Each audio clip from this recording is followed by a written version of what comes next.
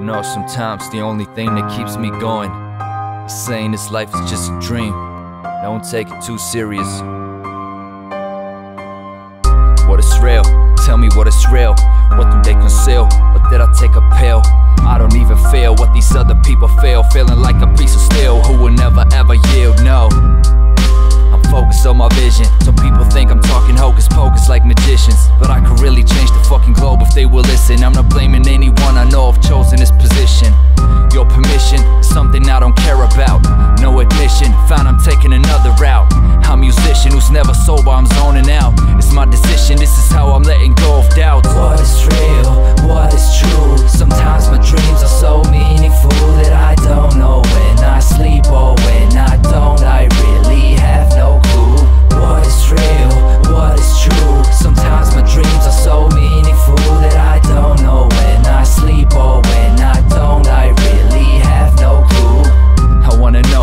meaning of life. What if I'm not really dreaming when I'm sleeping at night? I see a lot of people struggle with the evil inside. They really think they can defeat it by believing in Christ. You're manipulated and you don't know how to be free. Everything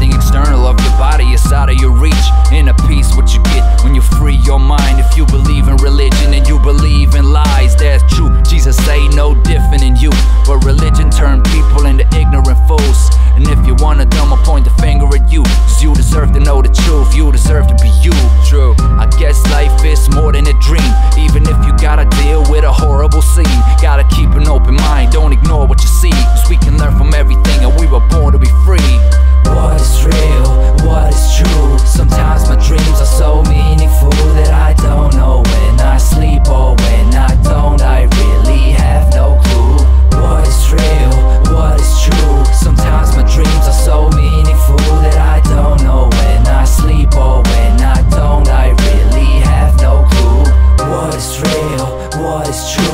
Sometimes my dreams are so meaningful that I don't know when I sleep or when I don't. I really have no clue.